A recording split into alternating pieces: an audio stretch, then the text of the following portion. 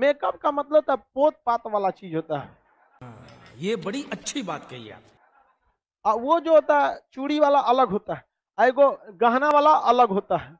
जिस तरह सामान जिस तरह आप चौक पे से मिस्त्री को लाइएगा ना राज मिस्त्री को तो अपने सामने सूता साहुल बसुली हेन तेन लेके चलते हैं सब। वैसे महिला भी सब लेके चलती है सर सूता साहू बक बसुली बक्सा पेटी